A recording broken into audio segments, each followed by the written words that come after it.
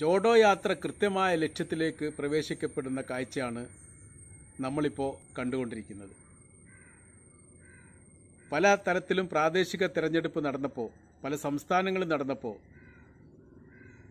വലിയ ഭൂരിപക്ഷത്തിനും വലിയ വോട്ടിനുമാണ് കോൺഗ്രസ് വിജയിച്ചു പോരുന്നത്.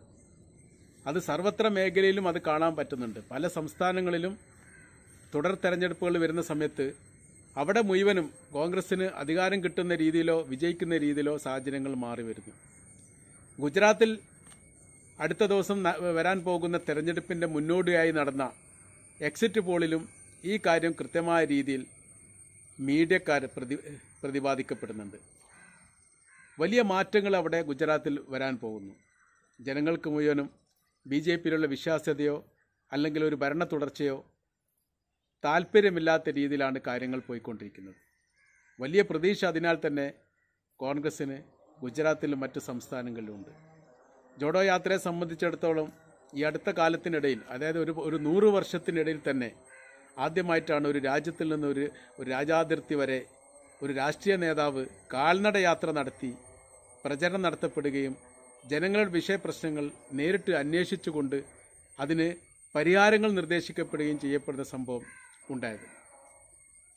അത് ജനങ്ങൾക്ക് വലിയ സ്വീകാര്യതയാണ്. കോൺഗ്രസിന്റെ മേഖലയിലല്ലാതെ മാർക്സിസ്റ്റ് പാർട്ടിയോ ബി ജെ പിയുടെയോ അല്ലെ മറ്റ് രാഷ്ട്രീയ പ്രാദേശിക പാർട്ടിയുടെ മേഖലയിൽ പോലും വലിയ സ്വീകരണവും വലിയ ജനപങ്കാളിത്തവും ജോഡോ യാത്രയുമായിട്ട് ബന്ധപ്പെട്ടുകൊണ്ട് നടന്നു വരുന്നത് കാണാൻ വേണ്ടി സാധിക്കും. എല്ലാ മീഡിയകളും വലിയ പ്രാധാന്യത്തോടു കൂടിയിട്ടാണ് ഈ യാത്രയെ റിപ്പോർട്ട് ചെയ്യപ്പെടുന്നത്. സോഷ്യൽ മീഡിയ ഏത് സമയത്തും ഈ ജോഡോ യാത്രയായിട്ട് ബന്ധപ്പെട്ട് സജീവമാണ്. അത് എല്ലാ രാഷ്ട്രീയ പാർട്ടിക്കാരുടെ ഈ വാട്സപ്പിലും അല്ലെങ്കിൽ സോഷ്യൽ മീഡിയ ഉപയോഗിക്കപ്പെടുന്ന സർവത്ര മേഖലയിലും ഇത് കൃത്യമായ രീതിയിൽ പ്രചരിക്കുന്നുമുണ്ട്. അപ്പോൾ ഇതിൽ നിന്ന് മനസ്സിലാക്കാൻ വേണ്ടി പറ്റുന്നത് ഒരു രാഷ്ട്രീയപരമായിരിക്കുന്ന മാറ്റം ഒരു ഭരണപരമായിരിക്കുന്ന ഒരു മാറ്റം തീർച്ചയായിട്ടും അടുത്ത തെരഞ്ഞെടുപ്പിൽ ഉണ്ടാകും എന്ന് ഉറപ്പുവരുത്തുന്ന രീതിയിലുള്ള പ്രചരണങ്ങളും അംഗീകാരവും സ്വീകാര്യതയുമാണ് ജോഡോ യാത്രയ്ക്ക് സർവത്ര മേഖലയിലും ഇപ്പോൾ ഉണ്ടായിക്കൊണ്ടിരിക്കുന്നത്.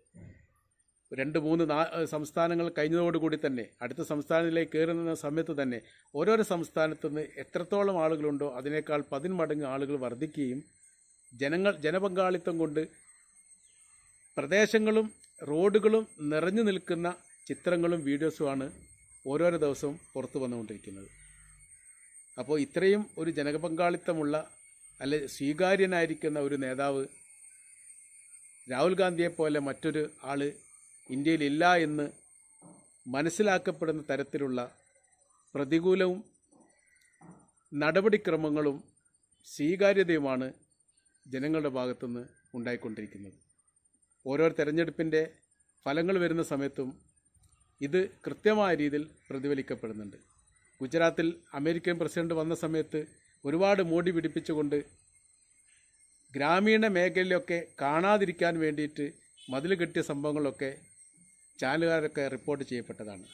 അപ്പോൾ യാഥാർത്ഥ്യങ്ങൾ മറച്ചു വെച്ചുകൊണ്ട് ഇല്ലാത്ത സംഭവങ്ങളെ കൊട്ടിഘോഷിക്കപ്പെടുന്ന ഒരു സംവിധാനമാണ് പലപ്പോഴും നടക്കപ്പെടുന്നത് എന്നതിനാൽ അതിനൊരു മാറ്റം വേണം. യാഥാർത്ഥ്യവും സത്യവും തന്നെ ജനങ്ങളോട് പറയുകയും അതിനനുസരിച്ച് കൊണ്ട് ഭരണം നടത്തപ്പെടുകയും ജനങ്ങൾക്ക് ഉപകാരപ്രദമായ രീതിയിലുള്ള സംവിധാനത്തിലൂടെ ഭരണ സംവിധാനം നയിക്കപ്പെടുകയും ചെയ്യപ്പെടുക എന്നുള്ളതാണ് കോൺഗ്രസ് മുന്നോട്ട് വെക്കുന്ന നയമെന്ന് പലപ്പോഴും രാഹുൽ ഗാന്ധി ഈ കാര്യത്തിലൊക്കെ പ്രതിപാദിക്കപ്പെട്ടിട്ടുണ്ട്. ഈ കാര്യത്തിന് വലിയ വിശ്വാസ്യതയും സ്വീകാര്യതയും ഉണ്ട് എന്ന് തെളിയിക്കപ്പെടുന്ന രീതിയിലുള്ള പ്രകടനമാണ് ജോഡോ യാത്രയുടെ എല്ലാ മേഖലയിലും നടക്കപ്പെടുന്ന അല്ലെ ലഭിച്ചുകൊണ്ടിരിക്കുന്ന സ്വീകരണം നമുക്ക് മനസ്സിലാക്കി തരുന്നത്.